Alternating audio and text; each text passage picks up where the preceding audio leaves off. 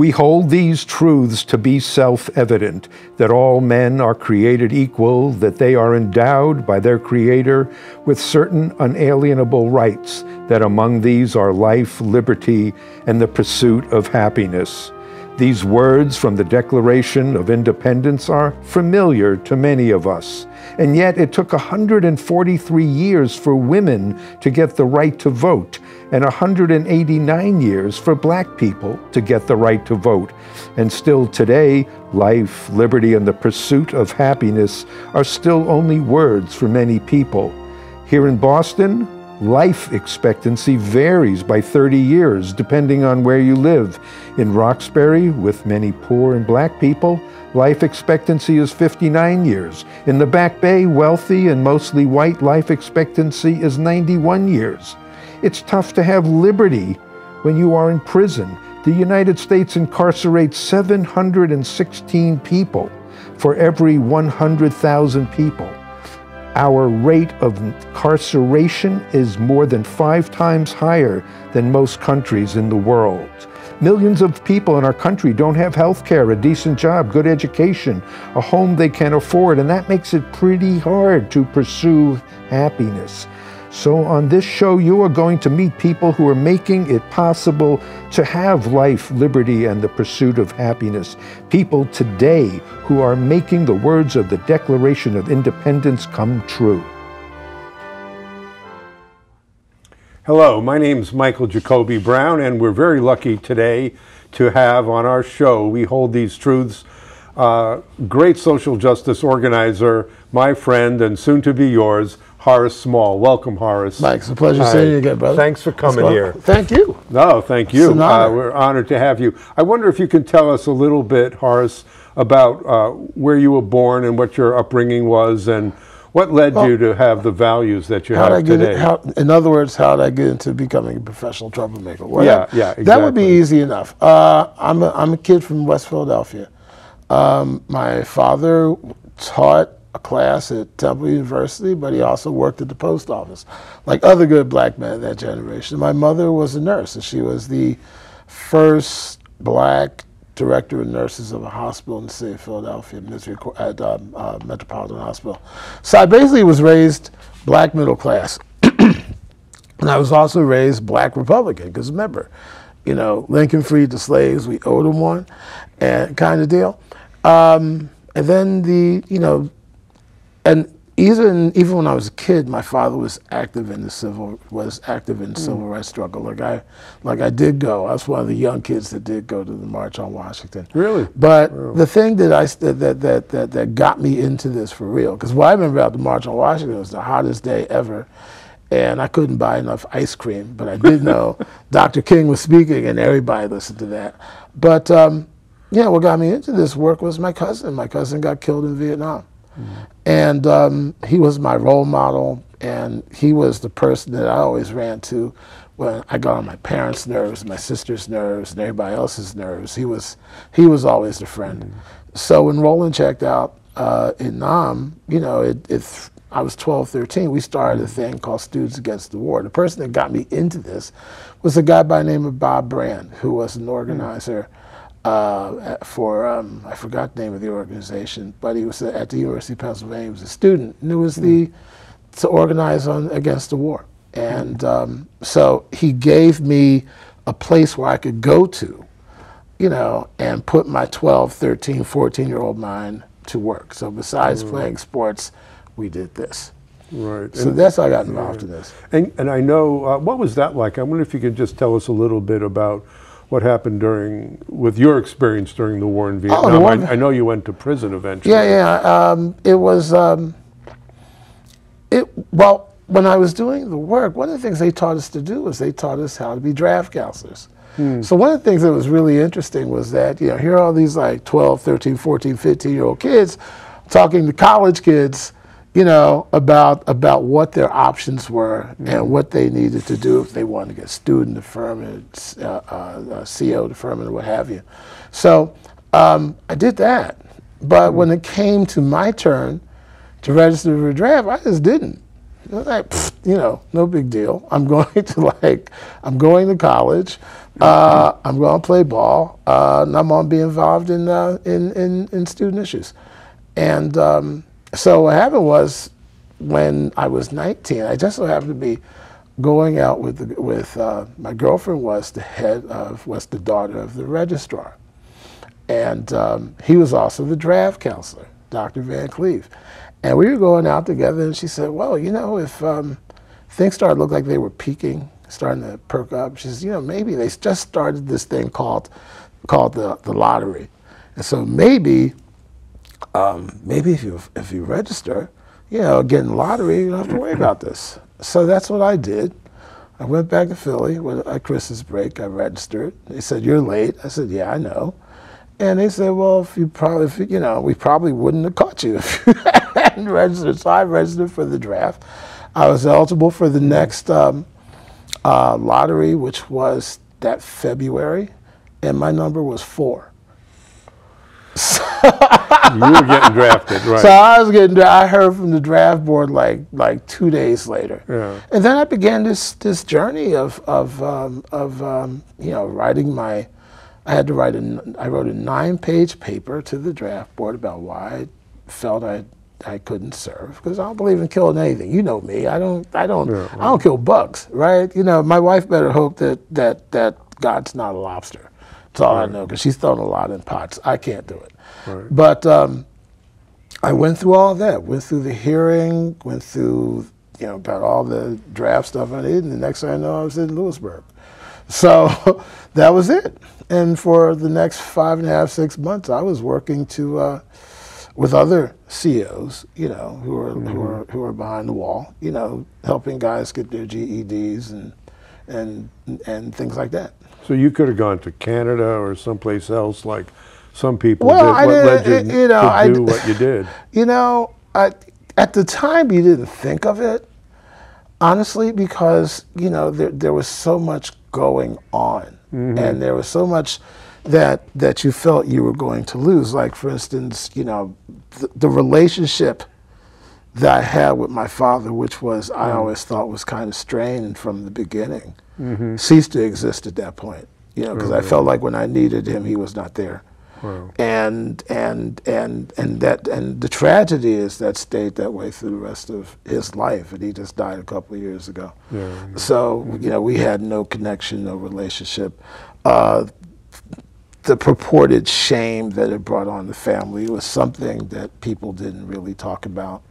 Um, hmm. You know, the sense that my father was World War II, so you're a coward. You know, and, and he hmm. couldn't understand that that that the principles of nonviolence and a commitment to nonviolence is probably far more powerful than than than picking up a gun or hitting someone with your fist. It's it's it's it's a profound belief that you know I I hmm. don't kill anything, and you know and and with that said, like I shoot, I'm against the next hundred billion trillion skillion wars. So that's just the way I'm cut out, and uh, but but family wise, we lost a lot. I lost a lot. Yeah. Yeah, but I was 19. What am I going? Yeah, I was 19, 20. Was Well, do? can, can you tell uh, tell us? You know, after that, you I know got involved with the Philadelphia City Council and Oh, well, I got lots involved of other in- organizing. Can you tell us? Well, we started this thing some called- of the things you uh, Well, did s- after that. After well, you came well, I came home. Well, the thing that, that one of the things, and I think if you talk to most people who were COs, uh, whether they went to jail or whether they're not, you know, because the struggle that you went through. Like I, th- to this day, I still remember getting a small booklet talking about life in a federal penitentiary. It was, you know, to help influence you in your decision on what you're going to do. yeah, we came home more committed to this thing called social justice than ever. Started a program called Young Adults United for Community Progress. Started working with young people and what have you. And then uh, the Carter campaign called and said, "Look, you know, we need somebody to, you know, we would like to bring you. We'd like to talk to you about being minority affairs, one of the minority affairs coordinators for Pennsylvania." So I went to work with the Carter Mondale campaign, and the the chairman of the campaign was a state senator from Massachusetts, a guy by the name of Joe Timilty. who I thought was the coolest white man I ever met. Um, you know, he was the epitome of somebody who racially got it, um, who could operate in a lot of um, of different circles and communities with ease. And um, you know, and, and he also taught us. He taught a lot. I, a- Much of what I learned about the game of, because it's really kind of a game in many ways. You know, is is uh, you know I learned from him. Really? And we ended up, you know, we won Pennsylvania by a hair because at the time you could register voters who weren't convicted of a statewide crime. So you had people all locked up in prison and the whole bit because they couldn't afford bail. You know, we registered them and we got them out. And we, we registered them, got them absentee ballots, they voted. And Carter won Pennsylvania by less than 1%. Wow. And what were some of those lessons that Timilty taught you? What did he say or do that you said he, you know, got well, I think you know. I think the, the biggest lesson that we learned. I mean, one of the the thing I learned is that if that organizing is political, all organizing is political. what do you mean? Well, when you bring community people together to talk about it, you know, when you, they come together, they talk about issues. Mm-hmm. They begin to start talking about things that really matter to them, mm-hmm. uh, that that that that they tell you are, are are something that's actually impacting the quality of life in their community. Mm-hmm. So you have to determine what's the difference between a problem, what's an issue, and they would tell you that. So they tell you like if recreation was a pro- or lack of recreational opportunities was a was a problem for kids and kids had absolutely no place to go, then the challenge for us as organizers working with community people is to come up to a solution to the problem. So the solution so what is the solution? The solution could possibly be more funding for, you know, community programs. It mm-hmm. could possibly be engaging citizens to say, well, what is it that we want to do hmm. that's going to benefit these kids? Maybe we start sports programs, maybe we start after school programs, whatever the mm. kids, you, you have to come up with solutions.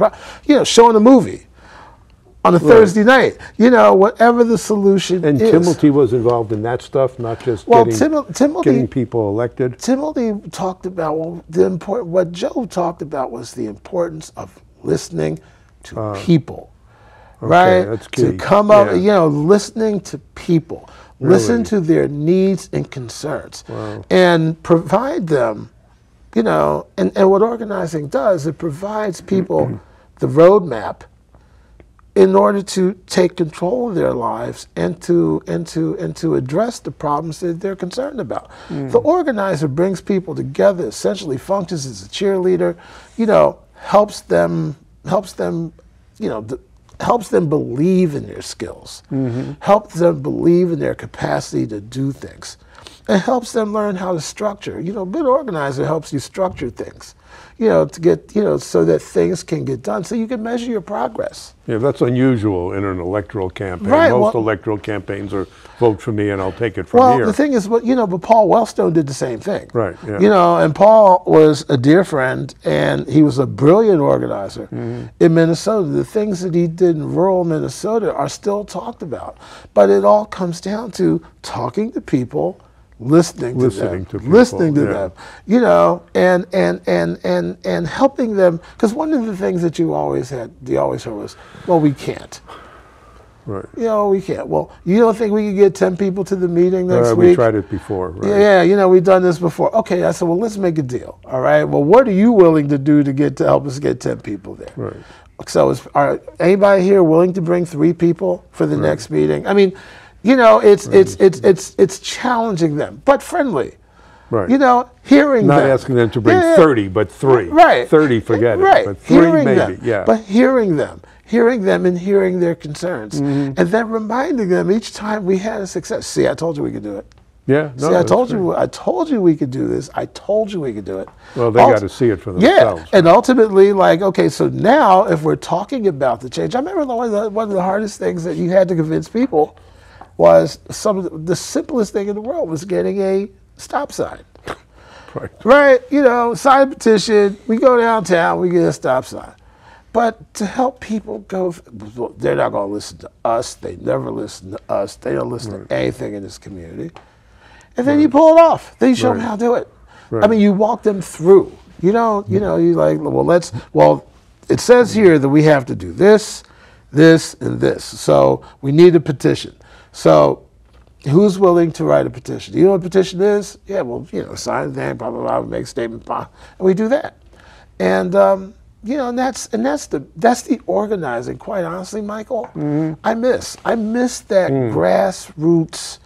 You know that that that let's organize this block. Then we go over to the next block. That's what, when we stopped the drug trafficking in Philadelphia back in the late '80s, early '90s. That was the model that was used. You know, organize blocks, chase them to the next block, and just keep organizing these blocks. Well, you've been here in Massachusetts now for over 20 years, and I know you uh, founded and led the Union of Minority Neighborhoods. I wonder if you can talk a little bit about some of the lessons and some of the work you've done there, here in, uh, in Massachusetts with the Union of Minority Neighborhoods. Uh, I have always thought of this has been some of the harder work I've done. Mm-hmm. Um, there's a lot of reasons for that. There's there's culture, there's mm. class, there's race. I mm-hmm. mean, like you know, one of the first things that we had to handle when we first started was the idea that that that that black people actually have the ability to do this because like mm-hmm. the general sense was the role of white organizers was to save everybody else right and so i remember going to a funder uh, with an emerging board member. And we talked about you know, the things that we were doing that we were really doing. And that we were doing like for nothing. Because when you're an organizer you know how to make things happen with nothing. Because you're used to having nothing. You're working with poor people poor people don't have anything. And the guy said we I said i was lying said i was lying now the philly in me was like no i gotta get up and beat the bejesus out of this white man but right right but the the the the the the, the, the um, um, The, nonviolent horror. yeah, the nonviolent horror second. But this is what we had to mm-hmm. deal with. Mm-hmm. And with all Boston Foundation, with all these various foundations, the reason why a lot of black organizations weren't getting funded was because the foundations didn't value the work. Or mm. we didn't have the same we didn't have the same grant writers writing, you know, flowery proposals that, that, that they like. Or that, you know, that, well, if we don't see it, because we're never in your neighborhoods, if we don't see it, then it can't be real. And so that was a constant fight. So everything from, from when, when, uh, um, when Mitt Romney decided to kill affirmative action, you know, we forced him to put it back. It took 10 days. But, you know, we forced them to put it back by pulling together constituencies from around the state saying, no, this, this, this can't happen. And we did it with nothing. Um, we, we kept the Ben Franklin Institute from being closed because because Menino wanted to sell the property and put the money in the, uh, in, uh, the, in the city's bank account. We're like, no, you can't do that. Kids go here. You know, the real kids go here, and and and the, and the school's not in any any financial crisis. It's just that you want to sell the building that was owned by state. We backed them off of that. CORI reform was something you know that we started, and we started with nothing. We had absolutely nothing. Right. Um, Can you explain what that is? Not everybody, certainly a lot of white people, including myself, Well- didn't know that CORI wasn't a girl's name. Yeah, it's, well, I, uh, that's what I thought at yeah, first. I was like, I just hope to God I never meet her. But the the reality was that that CORI was a is is your basically a criminal record. Yeah, criminal offender records yeah, index, uh, information, Cor- yeah, criminal right. offender That's record. what it stands for, right? Is what CORI stands for. And at the time, once you got it, you could never get rid of it. It stayed with you. Um, and it it kept you from getting jobs. It kept you from getting housing. And it's a huge problem in the black community. Oh, it's- it's in the white world, as you would say, people never Well, you know, of- it's also it's- class. Yeah. Okay?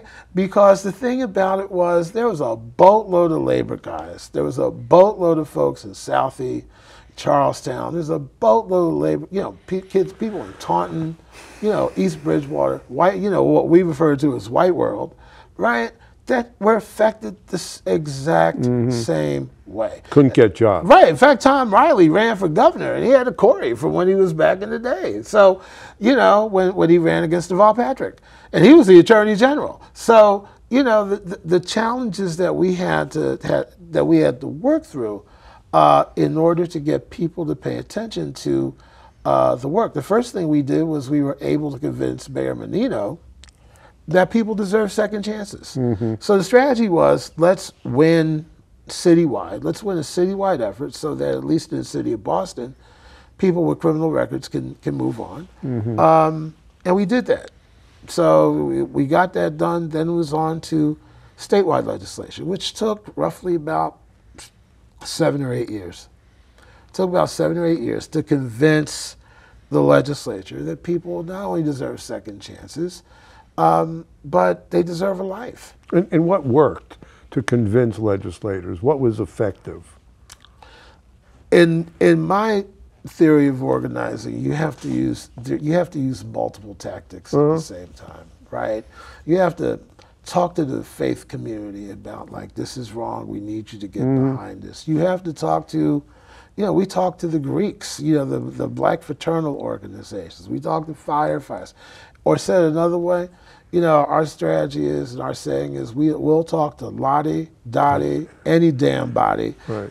in order to get to where we needed to get to. Mm-hmm. And ultimately, what we built was we built a we built we were influential in building a statewide movement of folks that mm-hmm. brought broad constituencies together saying this needs to be changed. Mm-hmm. And it was at that point, it was at that point that um, that they decided to change. Because the problem that we had, you know, it took eight years because the problem that we had was um, Finneran was the was the was the speaker, and he gave all his committee chairs full power to do whatever they wanted. And in our world, the judiciary chair was a guy by the name of Eugene O'Flaherty from Malden, who was not, who was law enfor- he was a law and order type, and as uh, we had the votes on the committee, we had the votes in the House, but as long as he was the chair, and as long as we had prison guards, who we found out prison guards like really have a powerful union in the state.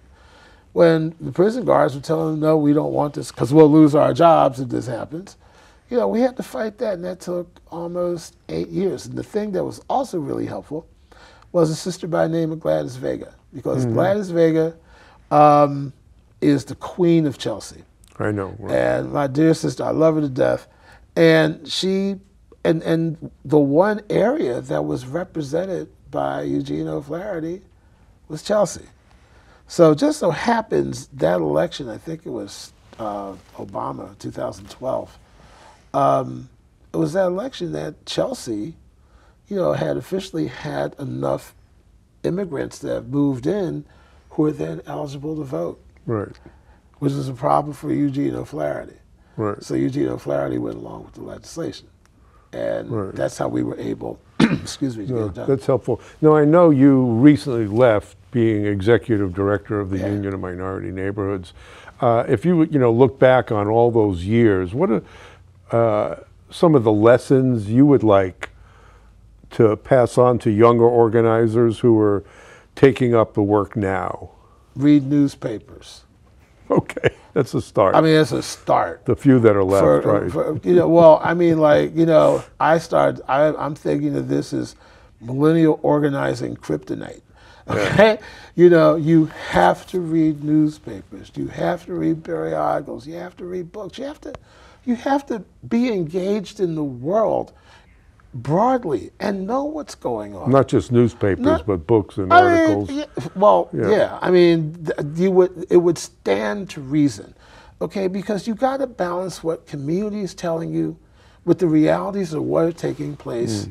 you know, in halls of government, in other communities as well. You know, you have to pay attention to that. So, so for instance, there's like, you know, we have um, Uber and those guys are trying to take away the rights of workers. It worked in California. Right. So now they decided that, you know, they're coming to Yeah, Massachusetts. permanently taken away. They've already taken them exactly. away. Now and you have to, you know, and in order to understand that whole issue, you got to read about it. It's If- pretty complicated. It's pretty complicated, but you got to Right. care about this thing. If, if you're worried about workers not getting unemployment, not getting you know uh, just wages, not having the protections that they need, you got to care. And that also means not only do you read the article that you saw in the paper, if you're going to work on that issue, you might want to read what happened in California. And find out from organizers what you know what worked, what didn't. so being really well informed is real is important. critical. What what else is real important? You I mean, to- you talked you- about listening earlier. Well, you have to. I mean, that's the second thing. The Yeah. most important thing is listening. Mm-hmm. Um, well, one, I think you have to absolutely be comfortable in yourself and in your abilities. So Mm-hmm. you have to know who you are, what makes you tick, because that's Mm-hmm. Ultimately going to drive you as an organizer. right, because if you're lucky, someone will ask you, "What the hell are you Yeah, doing because someone's going to ask you. That's If you're guaranteed. lucky, yeah. Because if you assume most of these people have heard this before. Right. If you've had somebody live on the street for 45 years, this is not the first time they talked about let's pull a block committee together. Right. This is not the first time they heard that. So you have to know who you are. Mm-hmm. And you have to be prepared to answer that question. on a deep level, And not deep- just my and- name's Horace and Small. be real. Yeah. And be real because the most important thing that you what keeps people involved. If you're the facilitator trying to bring people in, they have to be comfortable around you. Mm-hmm.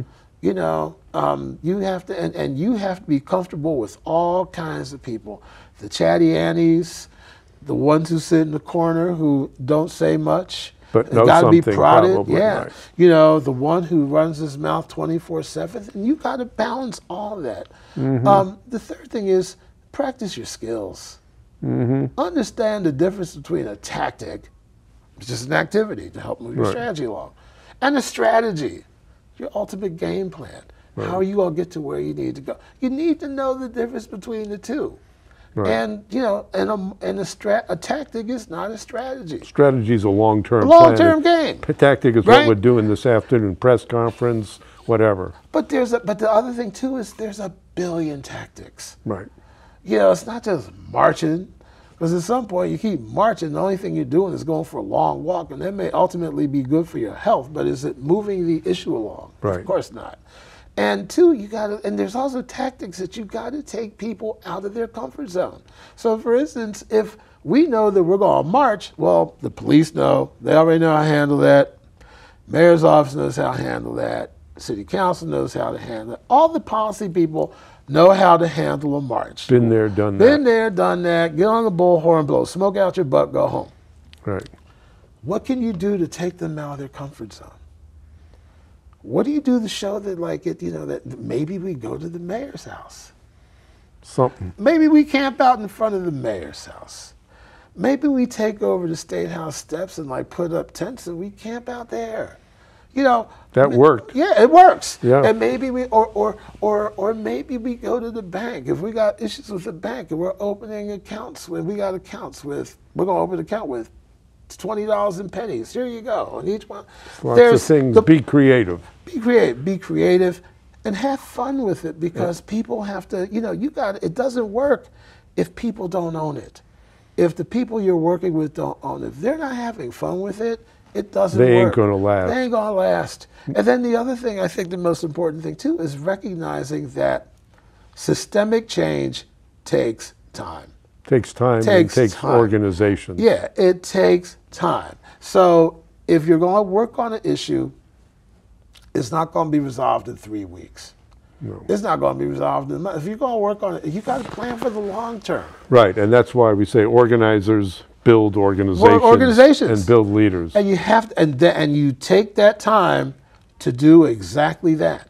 So they begin to find their confidence in themselves. They begin to start taking on the skills. Yeah, Horace, thank you. I guess I ran my We're mouth really too much. no, you're just enough. I'm Michael Jacoby Brown. We're really lucky to have had Horace Small, great organizer, the recently retired director of the Union of Minority Neighborhoods in Boston, Massachusetts, and thank you for tuning in.